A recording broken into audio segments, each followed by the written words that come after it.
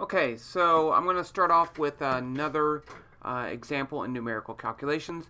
And this one I'm going to create, here's the situation I'm going to create. I have two uh, balls, they have electric charge on them.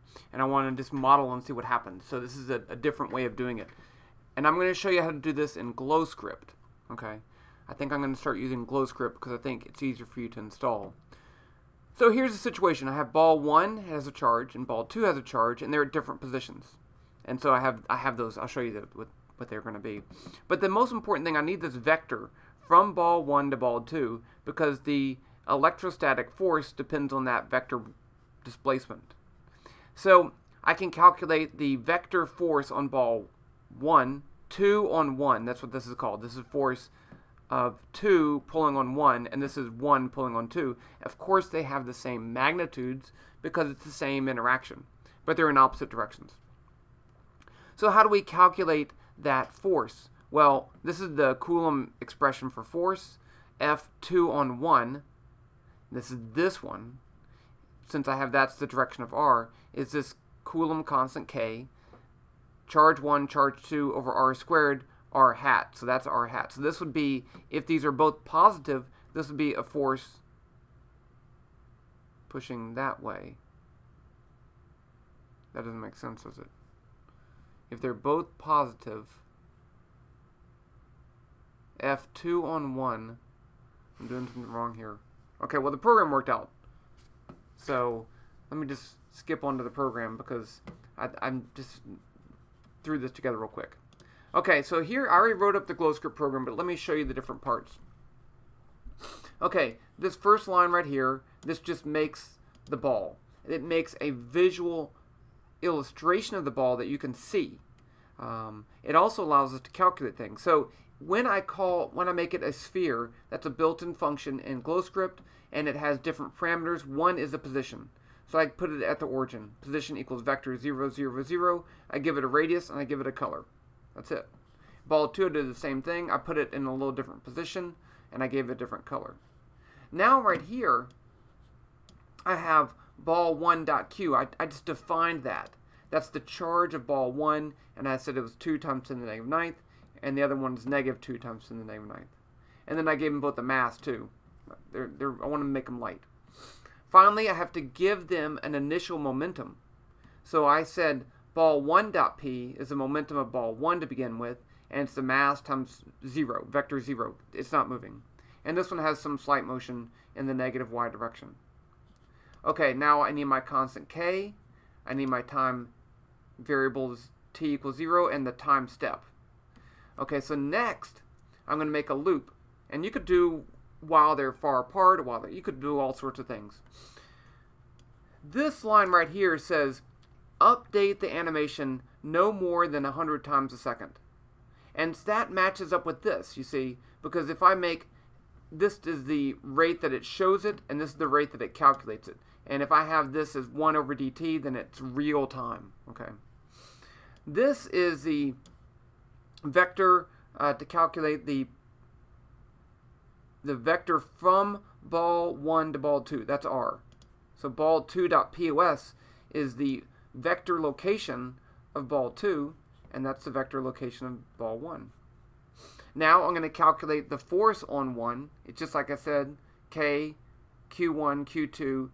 Norm is a built-in function in GlowScript and Python, VPython, that takes the unit vector of R. And if I don't have that in there, then I'm not going to get a vector for the force. And mag is magnitude of r. That's a built-in function too. So on the bottom I have magnitude of r squared. That's a scalar. I need this vector up here, unit vector, to make the whole expression a vector. So that's the force on ball 1. The force on ball 2 is just the opposite because they're, they're the same. You could calculate it out if you wanted to. Okay. Now this line, I am updating the momentum. So I'm saying ball 1 momentum is what it was before plus F delta T. And then and there's only that one force on it, so that is the net force. If you had more than one ball, this would get a little tricky. I'll leave that for you as a homework. But then do the same thing for ball 2. You want to update, you want to do this order. Forces, momentum, and then update position. This is just like before.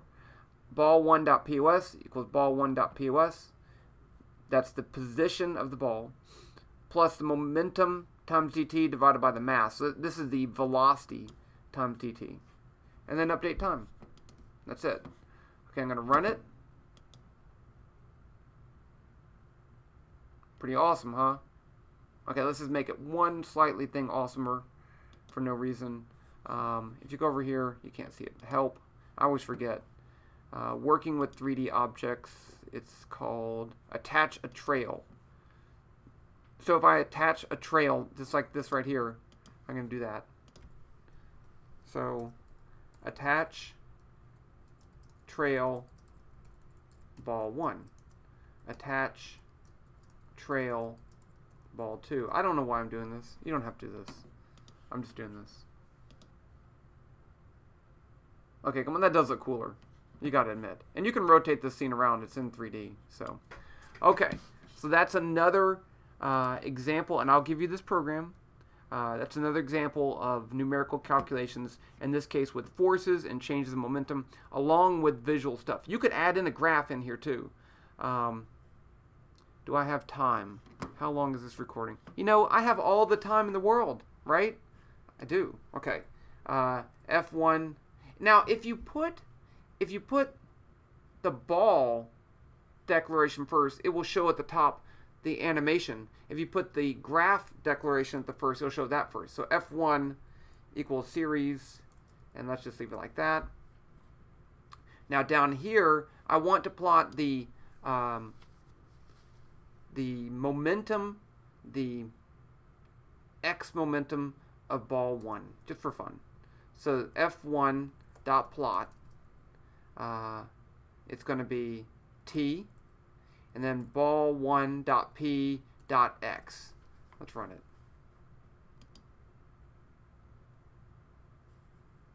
And you see the it is increasing in momentum and changing. The cool thing would be to plot this, plot the x momentum of ball 2 and the total x momentum and show that they all add up, that the momentum is conserved. That would be pretty cool. Okay, so that's graphing. You can add, see now it does have the animation in there too. You see what's at the bottom. Awesome. Okay, that's it.